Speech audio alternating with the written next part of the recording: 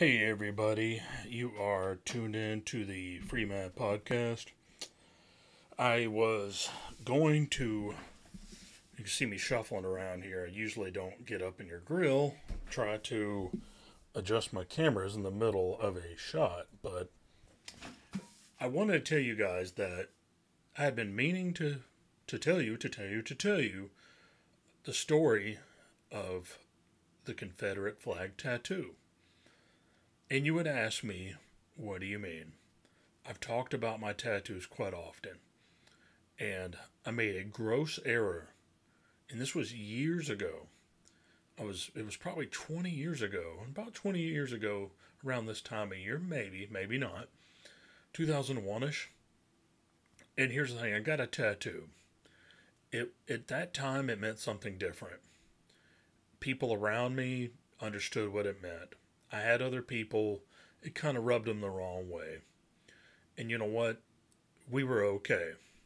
If you fast forward to probably 2005, 2006, it became more and more apparent that the, the, the meaning shifted. You had other groups of people, people that I wasn't allied with because a lot of the pro, I'm going to say the, the neo Confederate movements, not not uh, the New South movements or something like that, but the people that you usually see with the Confederate flags, most of them, for the most part, I don't think they have an, an idea about how stupid they looked or what they were doing to other people. And what the Confederate flag meant as a tattoo or like even one of those Confederate cotton shirts, most people knew they were from the South they knew that they were people, I guess, used to living in South, all shucks, Southerners, things like that. And yeah, you could tell I have a somewhat of an accent. People might remember that. And the thing is that the wrong people took over that that flag. And yeah, I met a lot of idiots that still had them some all shucks people, people that I know that didn't, you know, in, where I live, hate black people. Most people I know with rebel flag tattoos or even rebel flags didn't care. That's the whole thing. They didn't care about, you know, anything like that. It didn't rub them the wrong way. They didn't care. And the people I knew when I was in the Navy, most of them didn't care. And they, they knew they could come to me. if They had problems. I had I, I still dug a lot of those people. I'm not going to like placate you and say, oh, yeah, some of my best friends were black. They're not. But I had great, great shipmates and people I knew from back home, people I had no beef with, people I cared about. And you know what? It does. I'm not some champion for race relations. I suck at it. But I'm going to tell you that flag meant something different. And the attempt to own it and to steer it in a different uh, direction, it failed because of other idiots. Well, fast forward how many years later, I fought to get to a point where I could have it filled in. And because of the current medical condition going around, I couldn't find a place to do it. Everybody's booked solid. Nobody didn't have enough uh, stools open, appointment only, booked for months in advance. Nobody had an opening. Well, I finally found a guy who could do the work. And I'm talking about this has been like five years, five years late. And people ask me why I did it. I was like, I'm a libertarian. I don't think I, I lean towards this neo Confederate movement. For every time there's some pure intentions, like uh, neo Confederate movements or, or these, these people, the buttholes take over. The people who make them look bad, idiots, racist, morons. And you know what? I'm not a racist. I don't care. The whole thing is we have our own problem. White people have their own problems. And even people with rebel flag tattoos. And the irony is, I had an ex girlfriend from Jersey or New York, just bear with me. She wasn't a big fan of it. And I, in a way, I started, I, I didn't like it at first, what she said. But I start to think, and I'm like, yeah, it it really went it went overboard, and the thing is, it's you probably might be able to tell now. It's just colored in, and I could bear with me. I just I, I got it filled in. It's not going to be the most pretty thing in the world, and you know what? I imagine it's not going to be the greatest tattoo, but it's a part of your life. And I wanted to tell you the other irony, and a lot of people. I tell them this short little story to get a chuckle, but uh, I should have figured out I was a hypocrite a long time ago for having it. And one of the things was when I was stationed up in Virginia, when I was in the Navy, I had this tattoo was relative, relatively new.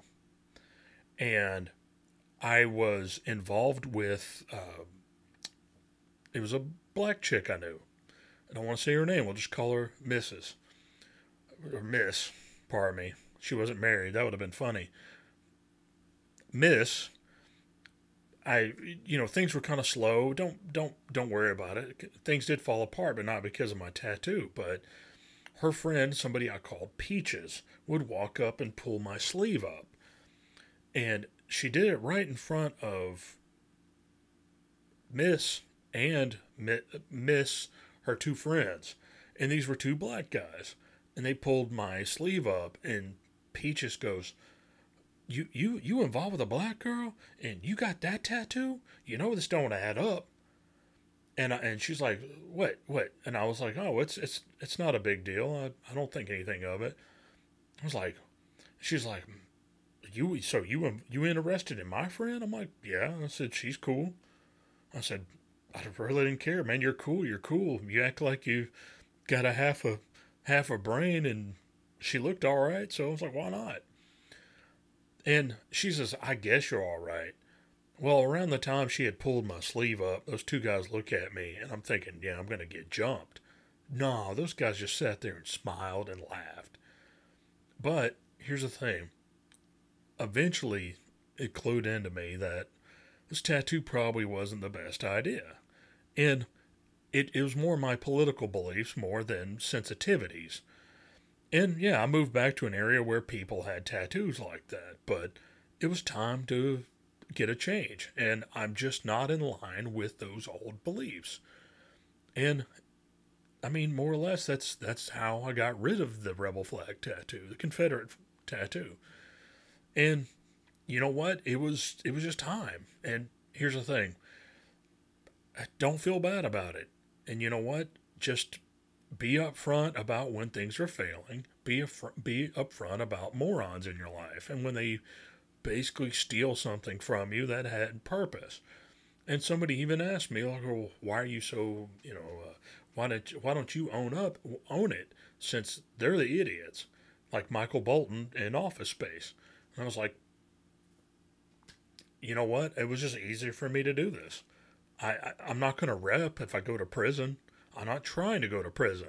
But if I went there for, you know, some type of evasion or making bad jokes about the president, I would be worried about that and having to rep up about that.